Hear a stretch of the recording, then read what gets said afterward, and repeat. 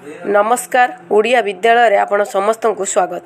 SCF ସୌମ୍ୟରଞ୍ଜନଙ୍କର ମୃତ୍ୟୁ ମାମଲା। ଆମେ କହିପାରିବା ବର୍ତ୍ତମାନ ବହୁତ ବଡ଼ ଗୋଟେ କ୍ଲୁ ମିଳିଛି ପୁଲିସ ହାତରେ। ପ୍ରଥମ କ୍ଲୁ କଥା ଆମେ କହିବା ଡିଏଫ୍ଓଙ୍କ କଥା କହିବା ଡିଏଫ୍ଓ ବିଦ୍ୟାଙ୍କ ସହିତ କଥାବାର୍ତ୍ତା ଯେଉଁ ହ୍ୱାଟ୍ସଆପ୍ରେ ଚାଟ୍ ହେଇଛି ତ ପୁଲିସ ହାତରେ ଧରା ପଡ଼ିଛି। ତା ସହିତ ଅନେକ ସମୟରେ ମଧ୍ୟ ଡିଏଫ୍ଓ ମନ୍ତ୍ରୀଙ୍କ ସହିତ ଚାଟ୍ କରିଛନ୍ତି ବା କଥା ହେଇଛନ୍ତି ହ୍ୱାଟ୍ସଆପ୍ ମାଧ୍ୟମରେ।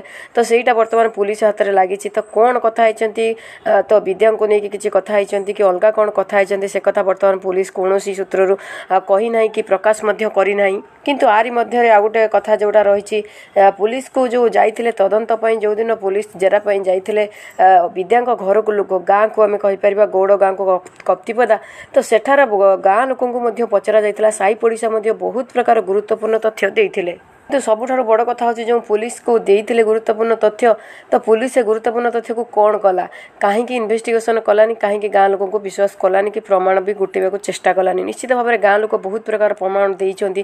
ଗୁରୁତ୍ୱପୂର୍ଣ୍ଣ କଥା ମଧ୍ୟ କହିଛନ୍ତି। ଯେଉଁଥିରେ ବହୁତ କିଛି କଥା ଥିଲା ଯେଉଁଥିରେ ଆମେ କହିପାରିବା ମେ ବି ବିଦ୍ୟାଭାରତୀ ଆଉ ଡିଏଫ୍ଓଙ୍କ ବିଷୟରେ ସେମାନେ କହିଛନ୍ତି। ତ ନିଶ୍ଚିତ ଭାବରେ ଡିଏଫ୍ଓଙ୍କ କଥା ଆମେ କହିପାରିବାନି। ମେନ୍ କି ବିଦ୍ୟା କଥା କହିବା କାରଣ ବିଦ୍ୟା ହେଉଛନ୍ତି ତାଙ୍କ ଗାଁ ଲୋକ। ବିଦ୍ୟାଙ୍କୁ ଗାଁ ଲୋକ ବହୁତ ଭଲ ଭାବରେ ଜାଣିଥାନ୍ତି।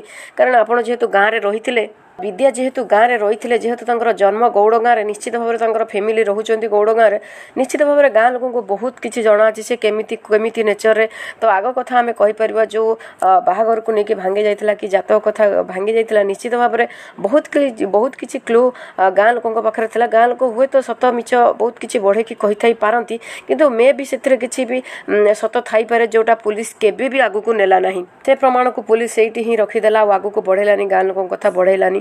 ନିଶ୍ଚିତ ଭାବରେ ଏମିତି ବହୁତ କିଛି ପ୍ରମାଣ ପୁଲିସ ପାଖରେ ଅଛି ବହୁତ କିଛି ପ୍ରମାଣକୁ ପୁଲିସ ନଷ୍ଟ ହିଁ କହିଦେବା କଥା ତ ନୁହଁ କିନ୍ତୁ ଆଗକୁ ହିଁ ତଦନ୍ତ ବଢ଼ଉନାହିଁ। ନିଶ୍ଚିତ ଭାବରେ ଆପଣମାନଙ୍କ ମନରେ କ'ଣ ଅଛି? ତ ଯେଉଁ ମୁଁ କଥା କହିଥିଲି ଆପଣମାନଙ୍କୁ ଗାଁ ଲୋକଙ୍କ କଥା ସେପଟେ ଡିଏଫ୍ଙ୍କର ଲିଙ୍କ ରହିଛି ବିଦ୍ୟାଭାରତୀ ଆଉ ମନ୍ତ୍ରୀଙ୍କ ସହିତ। ନିଶ୍ଚିତ ଭାବରେ ଏହିସବୁ କଥାକୁ ଆପଣ ଯଦି ଏକଜୁଟ କରନ୍ତି ତାହେଲେ ପ୍ରକୃତ ଦୋଷୀ ଏଠି କିଏ କାହାକୁ ଦଣ୍ଡ ମିଳିବା ଉଚିତ? ନିଶ୍ଚିତ ଭାବରେ ଆପଣମାନେ କମେଣ୍ଟ କରନ୍ତୁ। ରହୁଛି ନମସ୍କାର।